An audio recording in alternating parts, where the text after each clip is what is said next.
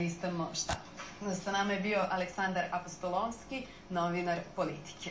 E, a na kratko ćemo e, napustiti e, sve politike i ekonomije i posvetiti pažnju vrapcima, najkorisnijim pticama na svetu. Njihova brojnost opada, pa tako ih u Beogradu ima samo 5000. Možda će statistika izgledati bolje po završetku akcije Vratit će se vrapčići. O kakvoj akciji reč saznaćemo od Julije Bakića. Julija, dobro jutro. Dobro jutro vama u studiju i naravno vama poštovani gledalci. Svetlana, kao što si rekla, brojnost vrabaca u glavnom gradu opada, pa je grupa volontera Ekološka disciplina pokrenula akciju kako bi podigla svest šire javnosti, ali i kako bi konkretnim akcijama e, taj problem i rešila. E, do sada smo imali nekoliko akcija, a o tome koliko akcija su imali razgovaram sa Dušanom Golušinom iz ovog udruženja. Dobro jutro, Dušane. Dobro jutro. E, znamo šta je cilj akcija, kako ste došli na ovu ideju i koliko ste do sada aktivnosti imali? Pa mislim da ne treba biti stručnjak pa primetiti da je broj vrabaca u gradu sve manji i manji. Omladinsko udruženje Ekološka disciplina upravo je formirana na, na ideji misli globalno, ali deluje lokalno, iako to zvuči kao fraza. I mislimo da je jedan od gorućih problema kad je bio diverzitet u gradu Beogradu u pitanju, upravo činjenica da se brojno stanje vrabaca smanjuje, da ih je sve manje i da ukoliko nešto ne preduzmemo da će oni zaista nestati. Do sada smo imali dve akcije.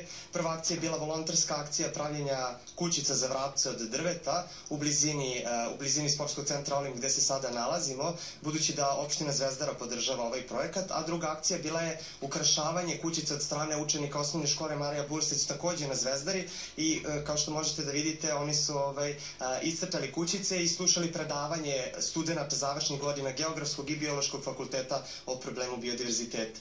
Upravo ovoga jutra se sprovodi takođe jedna aktivnost. Možete nam reći šta vaše kolege trenutno rade? Da, ovo je zapravo uh, mazanje prema za zaštitnog za kućice kako bi one uh, trajale i posle ove, ove sezone gnežđenja. Uh, suštinski, ovo je prva tura zapravo kućica koje su deca ukršavala. U ponedeljak ćemo imati još jednu aktivnost zato što je škola izrazila želju da i drugi đaci, a ne samo prvaci, ako je naša ideja bila prvaci, dobiju priliku da učestvuju u akciji, da saznaju nešto novo i da pomognu ovoj vrsti koja se u Zvezdarskoj šumi na Zvezdari uopšte zbog brojnosti zelenila najviše nastanjuje. Kako reaguju deca na ovu aktivnost, odnosno da li su rado prihvatila da učestvuju?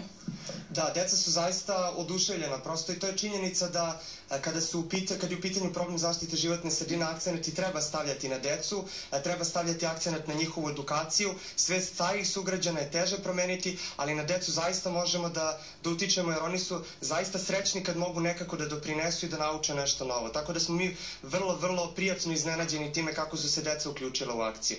Rekli ste da je svest starih sugrađana teško promeniti, pošto vi sprovodite ovu akciju, da li imate neki savjet, odnosno apel za sve njih?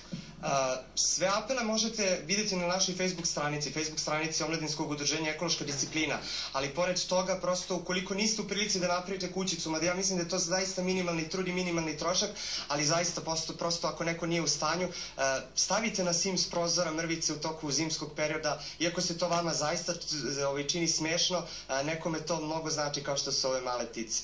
Hvala vam puno i želim puno uspeha u ovoj akciji.